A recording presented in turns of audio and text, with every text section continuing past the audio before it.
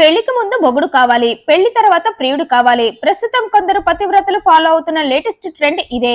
ఆ ట్రెండ్ని పది కాలాల పాటు పదిలంగా కాపాడుకుంటా అంటూనే పతితో కలిసి ఓ పాపపు పని చేసిందో పతివ్రత శిరోమణి.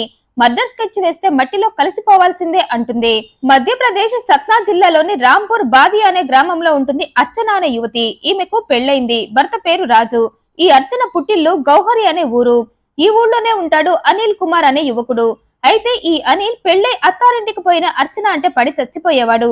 పండక్కని పబ్బానికని ఆమె పుట్టింటికి వచ్చినప్పుడల్లా ఆమెను కళ్ళతోనే మింగేసేలా అదో టైప్లో ఆకలి రాజ్యంగాడిలే చూసేవాడు. అతని చూపులు అర్చనను చాలా ఇబ్బంది పెట్టేవి. అయితే పక్కింటి కుర్రాడే కావటంతో అర్చన మొదట్లో అనిల్ ఎన్ని వెర్రి వేషాలు వేసినా పట్టించుకోలేదు. దాన్నే అవకాశంగా తీసుకున్న ఈ అనిల్ రోడ్ సైడ్ ప్రేమికుడిలా రెచ్చిపోయాడు. ఫీల్ మై లవ్ అంటూ ఆమె చుట్టూ చక్కెర్లు కొట్టాడు. ఆ చక్కర్లు చూసి చిర్రెత్తుకొచ్చింది అర్చనకు. ఇక ఇలా లాభం లేదు. వీడి సంగతి నా భర్తకు చెప్పి విషయం తేల్చేయాల్సిందే అని ఓ రోజు భర్తను కూర్చోబెట్టి తన చుట్టూ ప్రేమని చక్కర్లు కొడుతున్న అనిల్ గురించి చెప్పింది. తన భార్యకు వేరే వాడు లైన్ వేసి విసిగిస్తున్నాడని తెలియగానే రాజుకి కోపం వచ్చింది. మళ్ళీ అతను నీ వెంట పడితే నాకు చెప్పు వాడి కథ నేను ముగిస్తా అన్నాడు. అలా కొన్నాళ్ళు గడిచిపోయాయి. తన పుట్టింటి తరపు బంధువుల ఫంక్షన్ ఉండటంతో అర్చన తన పుట్టింటికి వెళ్ళింది. యథాప్రకారం అనిల్ ఆమెకు లైన్ వేస్తూ ఆమె ఇంటి చుట్టూ చక్కెర్లు కొడుతుంటే అది చూసిన అర్చన వీడిక మారడు అని తిట్టుకుంటూ లోపలికి వెళ్ళబోయింది అయితే అలా వెళ్తూ అనిల్ని చూసింది.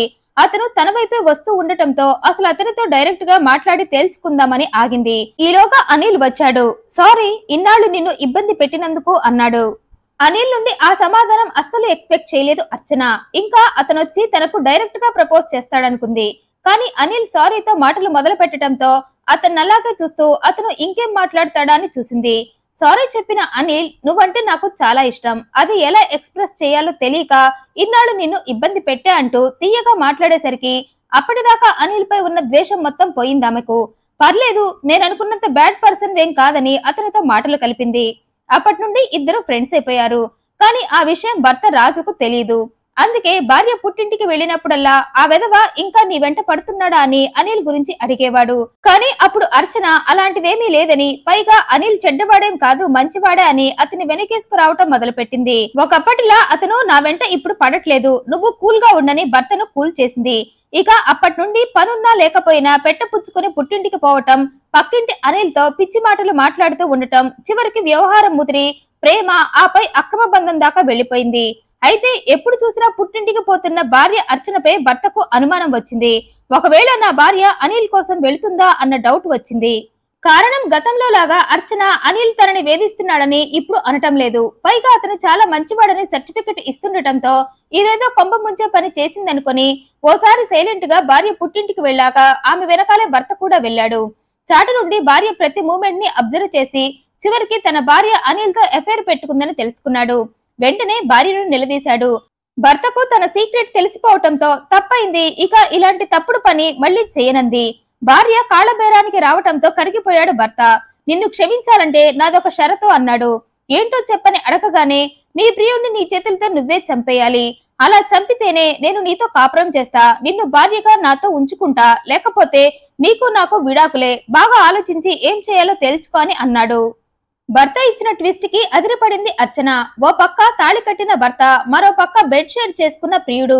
ఇద్దరిలో ఎవరో ఒకరిని ఎన్నుకోమంటే నేనేమైనా పతివ్రతన? పతిని మాత్రమే ఎన్నుకోవటానికి అనుకుంది. కానీ ఎంత ఆలోచించినా ప్రియుడిని చంపేయాలని అనిపించలేదు అర్చనకు. ఎందుకంటే అతనిచ్చిన సుఖం అలాంటిది మరి. పోని మొగుణ్ణి వదిలేసి ప్రియుడితో ఉండిపోదామా అంటే ప్రియుడు తాడు బొంగరం లేనోడు.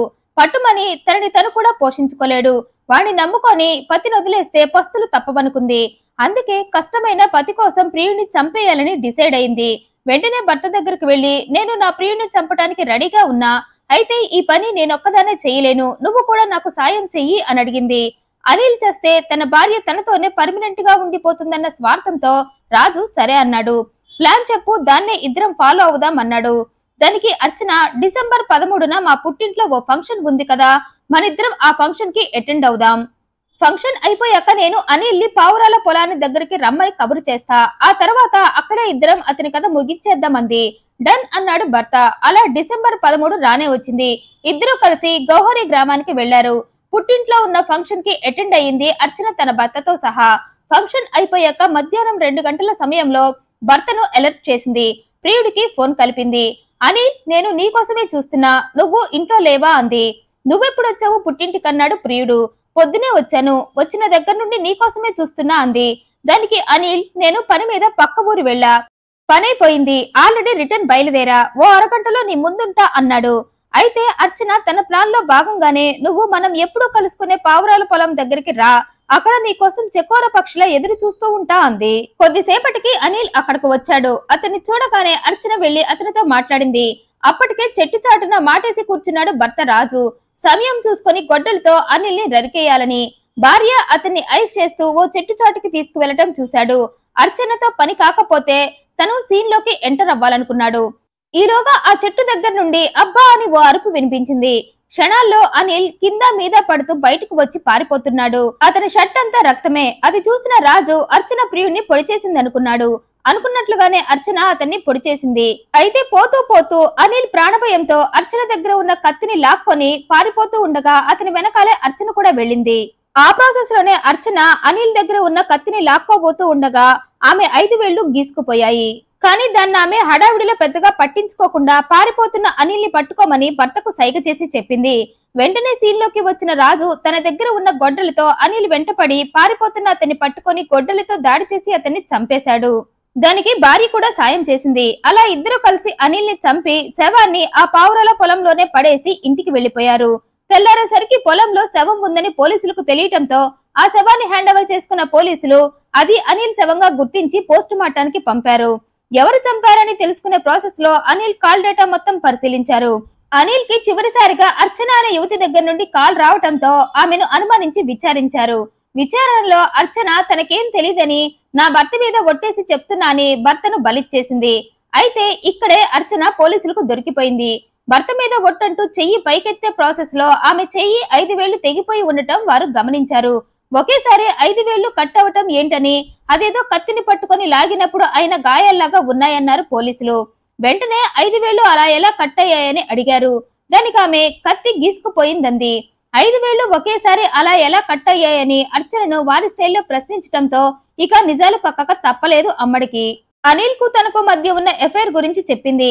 భర్తకు అది తెలిసి ప్రియుని చంపేయాలని అడిగాడని అందుకే అనిల్ని కత్తితో పొడిచి చంపుతూ ఉండగా అతను తప్పించుకునే క్రమంలో నా చేతిలో ఉన్న కత్తిని లాక్కొని పారిపోతుంటే ఆ కత్తిని నేను లాక్కున్నానని అప్పుడే నా ఐదు వేళ్ళు కట్ అయ్యాయని చెప్పింది. నేరం ఒప్పుకోవటంతో పోలీసులు అర్చనను ఆమెకు సాయం చేసిన భర్త రాజుని అరెస్టు చేశారు. అర్చన చేసిన ఈ పనిపై మీ అభిప్రాయాన్ని కమెంట్ రూపంలో తెలియజేయండి. మరింత ఇంట్రెస్టింగ్ అండ్ జెన్యున్ ఇన్ఫర్మేషన్ కోసం ఈ వీడియోను లైక్ చేయండి షేర్ చేయండి మా ఛానల్ సబ్స్క్రైబ్ చేయండి. Thanks for watching